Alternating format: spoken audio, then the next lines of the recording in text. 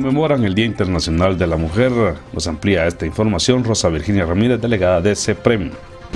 Esta mañana se llevó a cabo eh, la conmemoración del Día Internacional de la Mujer en la concha del Parque Central de Jalapa para eh, decirles a las mujeres de que estamos acá abriéndoles un espacio, luchando por velar para que nuestros derechos no sean transgredidos y para darle cumplimiento a la política nacional de promoción y participación de la mujer. Asimismo, luchar porque la política departamental se llegue a cumplir, ya que son varias las demandas que las mujeres han realizado y poco a poco se han ido cumpliendo, ¿verdad? Con, estos espacios que se han logrado abrir a través de las luchas que se han hecho eh, con la organización de mujeres. Para el evento ustedes eh, también recibieron apoyo de la municipalidad, hablamos de sonido y todo, pero realmente ellos hacen otro evento de la misma naturaleza. ¿Por qué no unirse?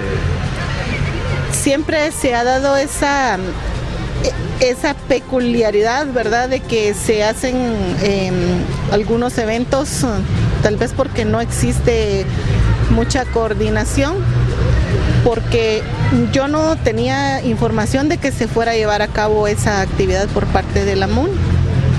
Eh, tuvimos el apoyo de la cooperativa El Recuerdo, que siempre ha sido eh, un vacío importante que no nos ha dejado, y la importante participación también de la esposa del, del nuevo gobernador que se dirigió a las mujeres dándoles un mensaje en este día. ¿Qué temas tocaron aparte de lo, principal en este, evento? el, el, tema central es que este día no es para felicitar ni para celebrar, sino que es para conmemorar, porque ya han habido víctimas que han ofrendado sus vidas por andar luchando por los derechos de nosotras las mujeres. Entonces felicitar es como decir que estamos alegres, sino que no estamos tampoco tristes, sino activas y dispuestas a seguir luchando para seguir abriendo otros espacios. ¿Cuántas mujeres participaron en la actividad? Alrededor de 30 mujeres.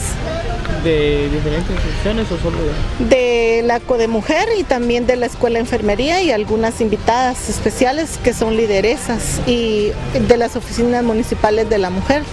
Para los T21, Dos Chapines y el Mundo, notijalapa.net